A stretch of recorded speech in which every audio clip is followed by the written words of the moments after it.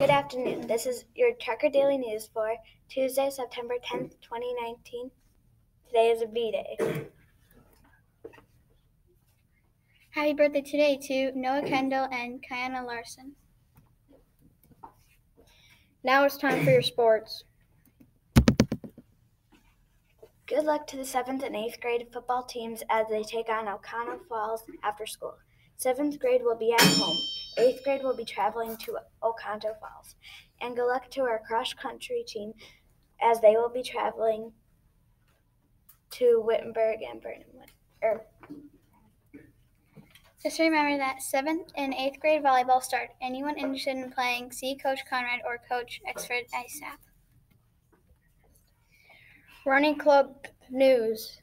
Our first practice will be Wednesday, September 11th. See you there. Weather. Today, high of 83, low of 58. 40% chance of precipitation. Tomorrow, high of 65, low of 56. 70% chance of precipitation. Tomorrow, lunch. Tomorrow, beef and gravy, mashed potatoes, homemade bread, or grilled chicken melt whole grain bun. Thursday, chicken strips, birthday cake, or mini corn dogs.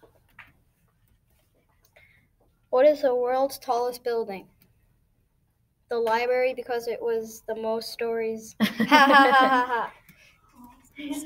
Be scared and do it anyway.